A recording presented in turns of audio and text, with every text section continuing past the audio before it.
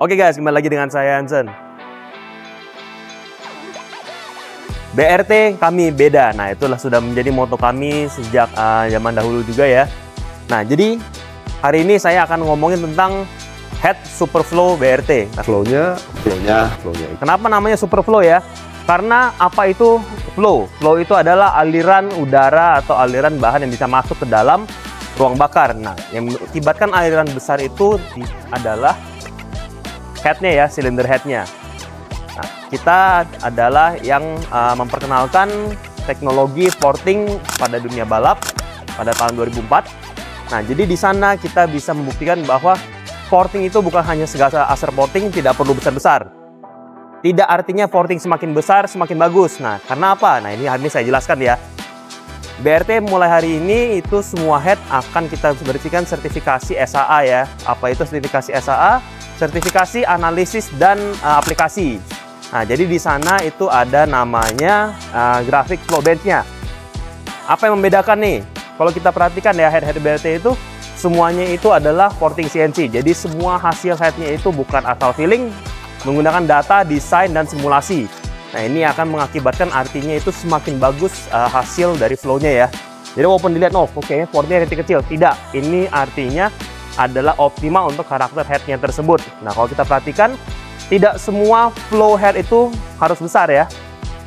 Dilihat dari liftnya yang seberapa. Jadi kalau kita lihat tidak semua flow itu besar. Penting juga gas speed. Flow semakin tinggi bukan artinya semakin kencang motornya. Bisa juga gas speednya juga harus semakin tinggi. Apa itu gas speed ya?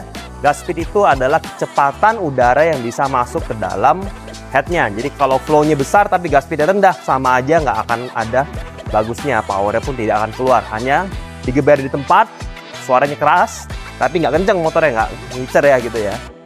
Bedakan uh, flow bench-nya BRT dan yang lain adalah flow bench ini semua full automatic dan juga uh, bisa kita simulasikan bersama dengan scrollnya dan gas speed-nya untuk mengeluarkan grafiknya yang optimal untuk data analisa kami.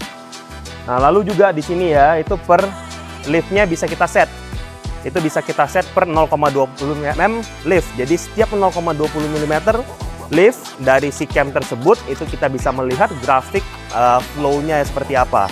Nah dari sinilah bisa kita analisa maunya seperti apa headnya. Nah tentu head ini itu harus kita perpadukan dengan cam uh, shaft dari BRT karena sudah kita desain menggunakan sistem kinematik. Nah ini membuat pergerakan dari si knocken as dan rocker arm untuk menggerakkan si klep itu untuk membuka titik optimal di mana flow-nya itu sangat besar ya. Jadi kalau dirasa-rasakan, nah ini headnya juga ada dari dua seri nih. Headnya ada yang seri T dan seri R ya. Seri T itu yang kita untuk biasanya untuk bore up atau harian atau standar harian. Nah R ini yang untuk kita peruntukkan untuk balap atau RPM RPM tinggi. Nah, jadi ini ya yang membuat yang berbeda. Head juga ada seri T dan seri R-nya sama seperti camnya. Digantung dari perpanduannya dan kreasi Anda masing-masing. Oke, itu aja dari saya. Terima kasih.